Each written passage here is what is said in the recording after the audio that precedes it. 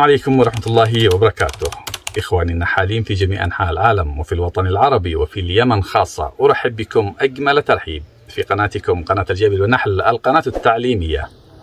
في محاضرة سابقة تحدثنا حول blocage الحضنة وقد تعرفنا في ذلك الفيديو عن ال blocage وما هو ال blocage وما تعني blocage وتحدثنا في الفيديو نفسه كيف نستطيع أن نستخدم هذا البلوكاج ونوجهه في منحنى آخر وهو منحنى تجيش النحل والاستفادة من هذا التجيش في زيادة إنتاج العسل أو زيادة الإنتاج في الموسم القادم.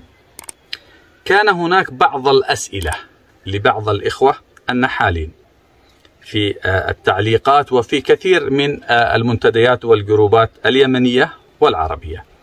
يتساءل حول كلمة دقيقة ومهمة. يقول فيها السائل كيف أو نريد أن نفهم معنى كم كما ووقتا أو وزمنا؟ كيف نضبط التغذية في تجيش النحل كما وزمنا؟ سنتطرق في هذا الفيديو عن هذه الخاصية بالضبط. كيف نضبط أو كيف نضبط التغذية كما وزمنا.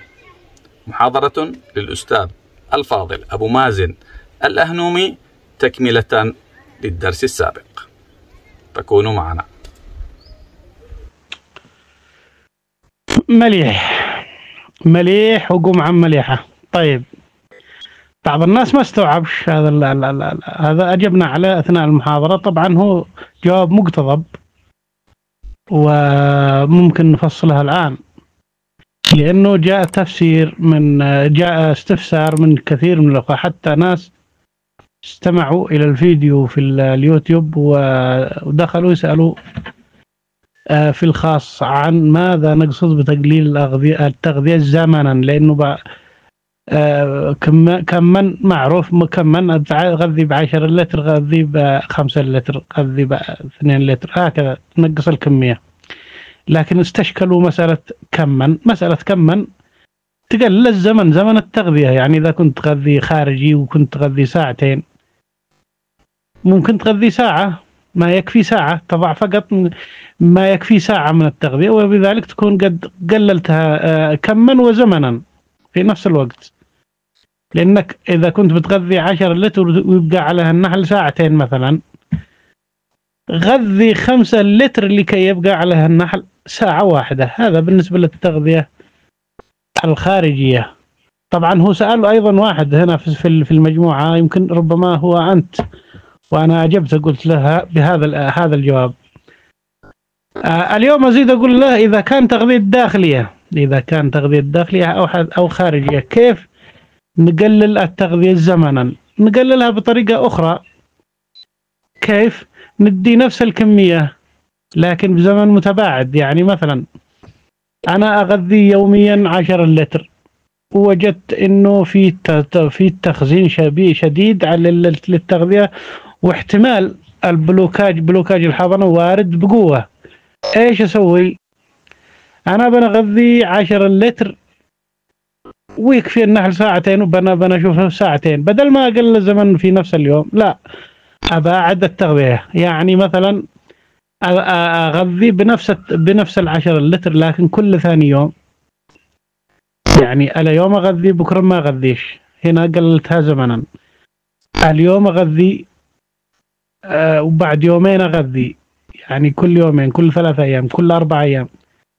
أقللها بنفس الكمية. زمنا يعني إذا أردت أن أقلل الكمية زمنا وقتا وزمنا مع بعض خلاص ممكن يعني كم كما وزمنا مع بعض ممكن. إذا كنت أغذي بخمسة لتر وما بعشر لتر وكانت تستمر يستمر عليها النحل ساعتين ورأيت تخزين آه خلاص أفعل خمسة لتر ويكفيها ساعة. هنا خففت أو قللت الكمية والزمن. مع بعض. في الطريقة الثانية إني أغذي بنفس الكمية لكن أطول المدة. ما أغذيش يوميا بعشر لتر. لا أغذي عشر لتر. وغدوة ما أغذيش. بعد بكرة أغذي أغذي أغذي. أو مثلا أغذي بعشر لتر اليوم وبعد يومين أغذي. يعني أطول المدة الزمنية التي أغذي فيها. عند عندها ما يجي النحل حتى وإن كان خزن شيء بسيط.